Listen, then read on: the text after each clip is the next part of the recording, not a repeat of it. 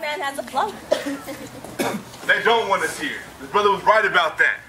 Because not only are they gunning us down the streets, not only putting us and our youth inside these cells, these cages, so they can make paper off of our back and our labor. Not only did the police start from slave catchers, but they gentrify our neighborhood.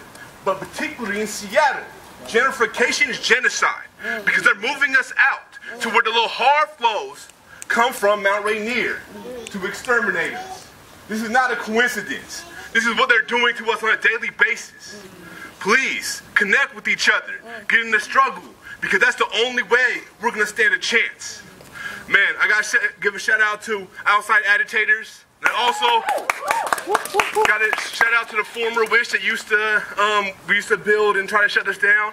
Um, so please, everybody, especially black folks, connect with each other, build with each other, because they are on our side. None of these politicians, none of these cops give a shit. It's on us. Love.